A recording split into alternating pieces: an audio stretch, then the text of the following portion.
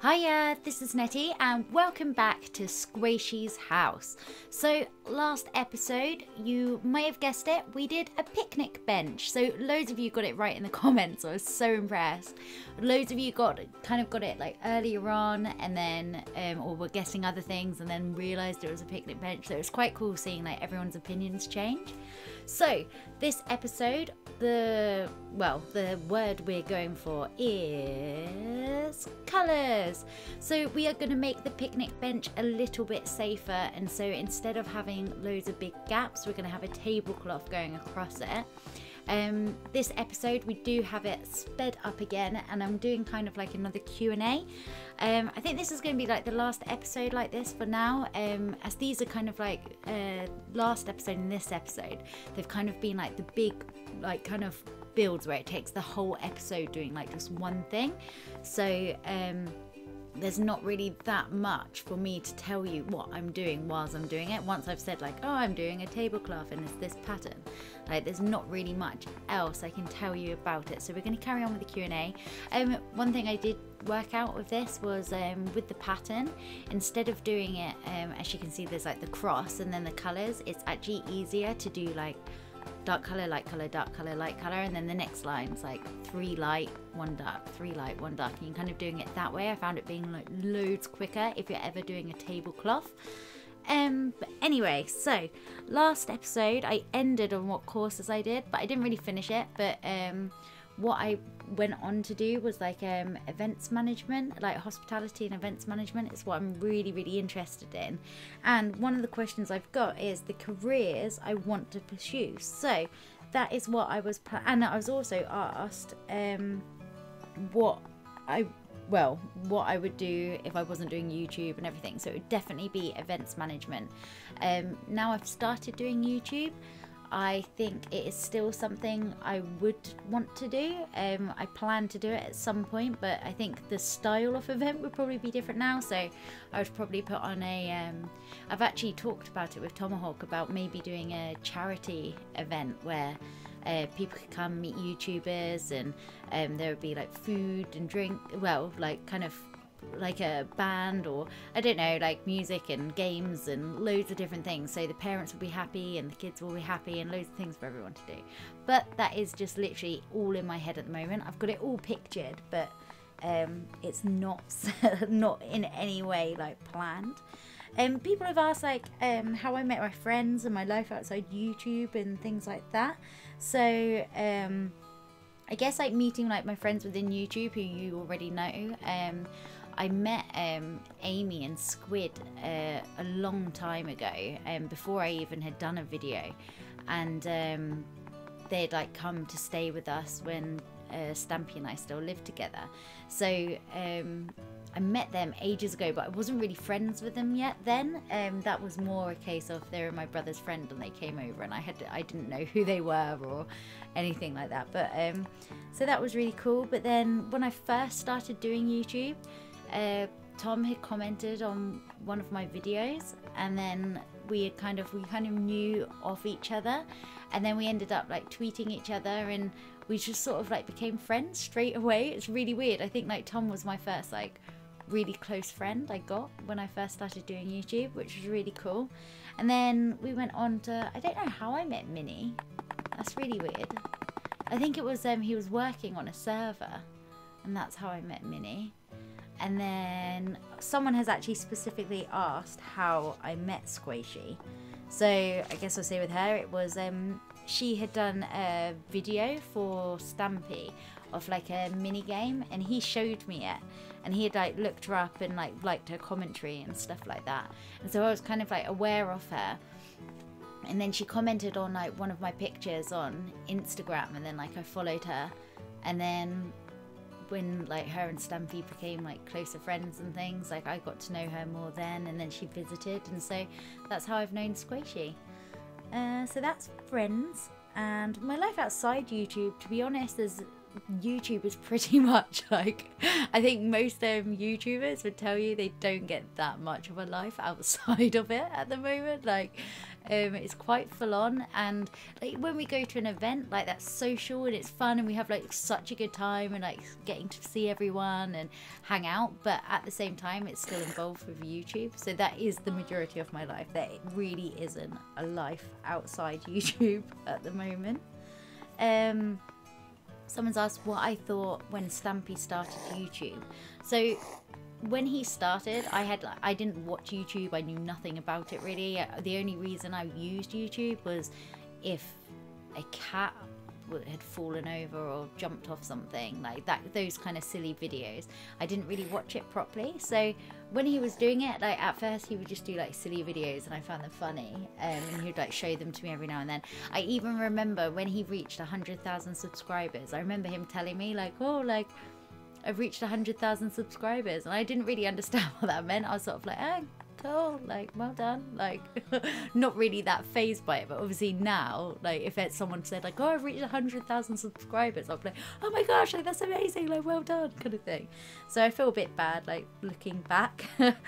Um, I helped him out a bit as well when um, there was the Sing for Stampy. I helped him go through all the emails and things like that. So if you had sent a song in, I probably heard it. Um, had a lot of um, Frozen parodies. It was when Frozen had just come out. But um, someone's asked if anything strange has happened to me, like paranormal or anything like weird like that. Um, I don't think it really has. There's been like the odd thing where I'd kind of be like, "Oh, what's that?" Or when I remember when I was younger, I would in the night, I would be so scared. I remember, well, actually, this is probably the one thing that this was probably the most scared I've been ever in my whole life. So, bearing in mind, I was really, really young. And in my room, I had two beds, even though that it was only me that stayed in there. And I woke up in the night and I was like, oh my gosh, someone's in the bed next to me and I was so scared. And I was thinking in my head like, oh, it's probably just like a pile of clothes or a toy or something like that. And just because it's dark, it looks like a person.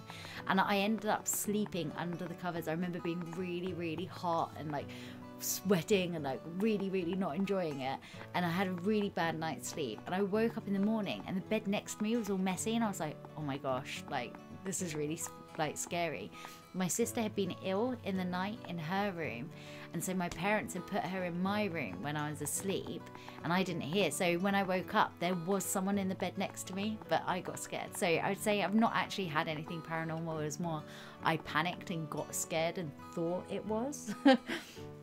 but my um the other because this is kind of I guess it's more weird for other people rather than for me, but um, I sleep talk as well in the night. I know this isn't like paranormal, but it's kind of like along the lines of um, just weird things and like happening at night time. So I've had it before where um, when we were like on holiday once, and it, um, Stampy, our sister, and I were sh- like sharing the same room, and um, Stampy said that he would just hear like Rachel and I having a conversation with each other, but we'll have a different conversation. So I would be saying like, uh, this is this isn't what I said, but I don't know what I said. But say if I roughly said like, oh yeah, like look at the dog, and she'll be like, on Tuesday, the green one, kind of thing. Like we'll have two completely different conversations, but we'll be talking to each other back and forth, but like sleep talking. So that was like that's a bit weird. Um, so that's that story.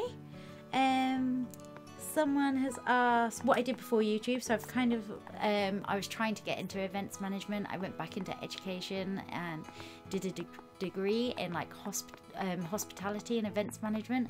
So I had to learn like every aspect of the hospitality industry. So I had to work in a kitchen. I can make a two color soup. So half of the bowl is green and half the bowl is red, which is really cool. Um, I had to do like all silver service and like all management and eventy stuff. So that was really cool. Um, someone has oh, this is a, quite a good one actually. Someone asked what it was like the first time I recorded on my own.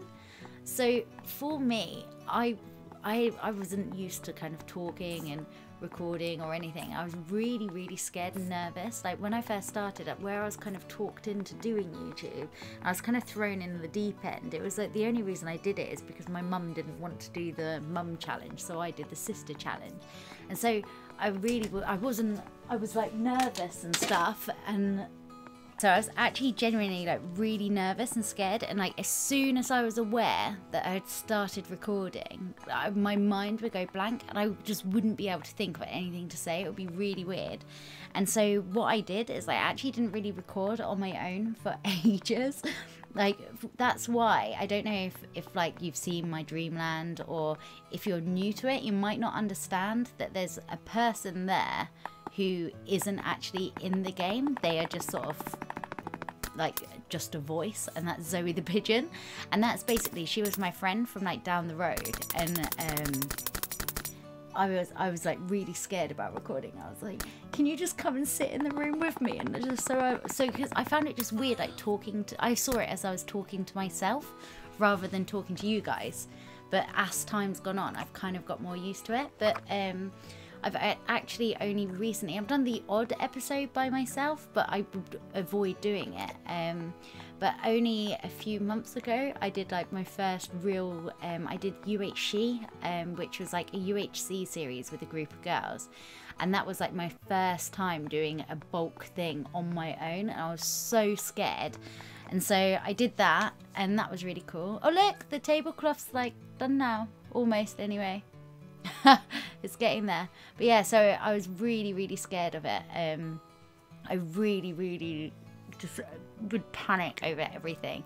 And even if, if you see the first series of UHC, you can hear I'm really nervous and awkward talking on my own and I've only recently started like my new well I say new um I think I'm on like episode 54 but my world with no name is sort of like my first real series on my own so it was like kind of a big deal for me and like I think at first you can tell I'm really nervous I think even now like I get quite panicky about doing stuff on my own. I don't know why. It's really weird because I don't have a problem with talking. And even if someone was just there next to me and didn't talk, I would I think I'm less nervous. It's really really odd. So I'd say it's something that I still kind of struggle with a little bit. I guess it's just nerves. I don't know why my mind just goes blank. Um, next question. Most embarrassing moments. I see. I keep trying to think of them, but I can't. I've had lots of embarrassing moments. I tend to embarrass myself quite often, and it will tend to be really silly, like little things. Um, I had a recent embarrassing moment. It was um, at Insomnia 56, an event. Um, it was around Christmas time, and we had done like a Secret Santa thing, and Tom had got me a, a Christmas jumper, and it, he had given it to me, and he said, no matter what it is, promise me that you'll wear it on stage. And we were going on stage like really soon. And um, I opened it and it was a Christmas jumper. And so I was like, phew, at least it wasn't anything like a I don't know, chicken outfit or something. So I had this um, Christmas jumper, which was fine. It was really cozy. Like I love it. I wear it all the time, even though it's not Christmas. And um, I had it on stage, and the commentator made a point of being like, "Oh, like I like your um, jumper kind of thing. I said, explain like, oh yeah, Tom got it for me. And Tom was like, go on, like show us it properly kind of thing. And I was like, oh gosh, I stood up and did like a little spin around and they were like, that's not enough. And they made me do like a catwalk on my own on stage in front of loads of people like in this Christmas jumper. I think actually probably stage is like normally my most embarrassing time, um, especially if I'm with Tom and Minnie Mooka because we try and do, we almost like troll each other, I guess. So um, they'll try and um, because where I did Irish dancing, whenever we're at an event in Ireland, they'll bring it up and make me do Irish dancing on stage. But then if they do that, I'll sort of make a comment like, "I'll only do that if you sing or something." And so we kind of stitch each other up a little bit on stage, knowing that because it's on stage, um, you kind of really can't back down from it. I guess we're just a bit mean to each other, and um.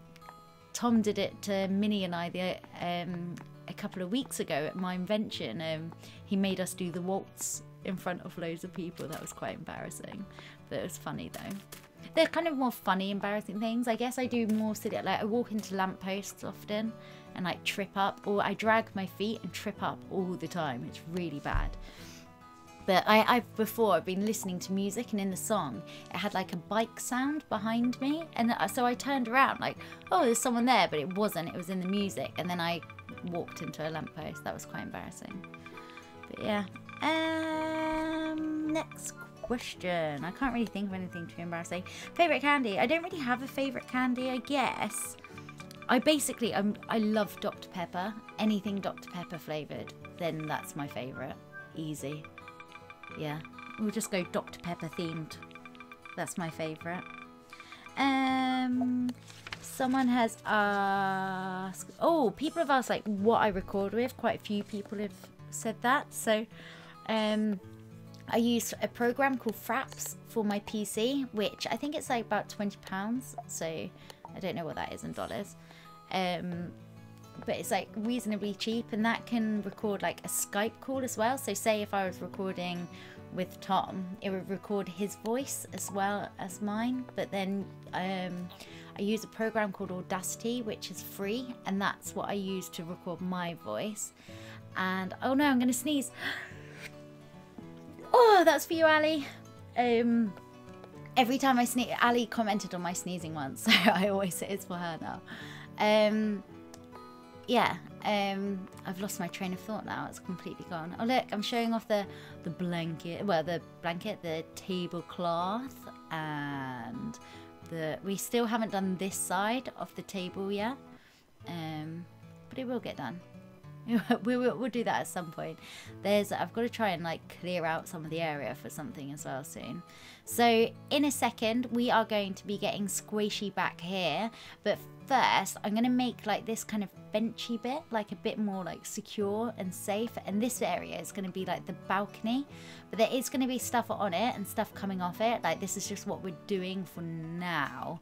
Um, but this is just kind of it just makes it more secure and it's just kind of like making it look a bit more like a house rather than just a um, a picnic bench. So that's like makes it so she can like get on and off and um yeah it'll be i'm really excited about how this is going to be.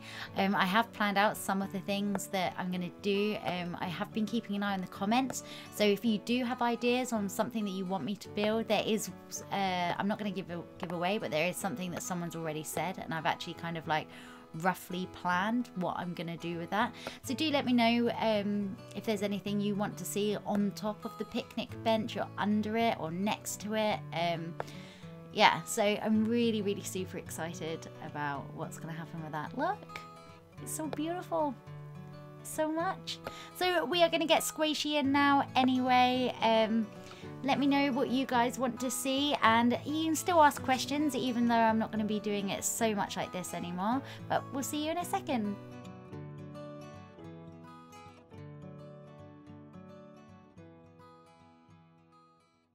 Hiya and welcome back. We are here now with Sqaishey and she is about to see what we have done. Oh, you were waiting for that, sorry. I know it's fine. It's fine. I'll put my clothes on. I'm good. Yeah, yeah, you're getting getting ready. I'm getting dressed. I'm good now. I could have made you a dressing room. You could have said. Oh, thank you. Oh, you made a creeper. A what? You made a creeper for me. Oh, it took ages. Absolutely Look at him. Ages. Look at him. He's beautiful. I don't even know. Oh, he's climbed up here. What's this? He's so real, isn't he? I have a tablecloth. oh, you've got to. I was like, where did she go? You've got to go up the entrance. Oh, I was looking at the creeper. Sorry, I'm getting ahead of myself. Okay, I'll go down the entrance. I'll go. I'm going. Oh, oh, there's a bone there as well. Welcome to Squeak. Oh, another bone. I haven't got one this time, so no fighting. You're gonna have to like give me a bone every single time yeah. I arrive. Just have a look at my house there. I'm just Welcome gonna build a massive bone. I'm gonna like scrap the whole picnic table and build a bone. you should. I'll live in a giant bone. Oh, look at this. Oh, this is beautiful, Netty. So yeah, this is your now, so it's a bit safer anyway, so you don't fall through the gaps.